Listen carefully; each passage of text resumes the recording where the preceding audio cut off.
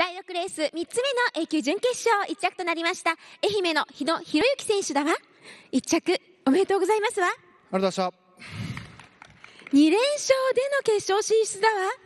そうですね。あのオッズ見て自分から売れてたんでちょっと緊張しましたけどちょっと思ってた通りにならなかったんですけど1着でよかったです。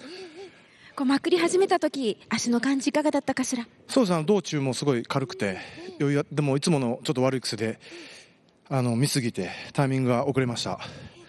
でも素晴らしいまくりで2連勝。今日は結構昨日と違って風も吹いてますけれどもいかがだったかしら？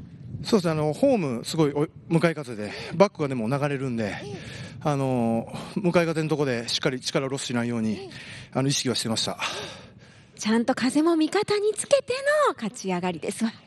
はい良かったです2走した足の感じはいかがかしら？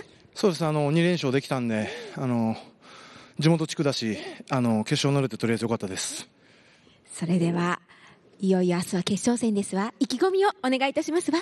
はいえっと地元の坂田君も決勝乗って多分一緒に走れると思うのであの一生懸命自分のできること頑張ります。皆様応援よろしくお願いいたしますわ。拍手お願いいたしますわ。えそれではですね日野選手昨日はですね1歳4ヶ月になるお子ちゃまにメッセージを送っていただきましたが今日は愛する。そうです。奥さんにいつもサポートしてもらってるんで。はい、メッセージをあちらのカメラに向かってお願いするわ。はい。えっと、奥さんいつも子育てとか僕のサポート大変だと思いますけどありがとうございます。また一生懸命結果出るように頑張ります。よろしくお願いします。あら素敵なご主人の顔見せていただいては拍手お願いするわ明日優勝されたらどうしましょうね。そうですね。なんかあの美味しいもんでも食べに行きたい行けるように頑張りたいですね明日。はい。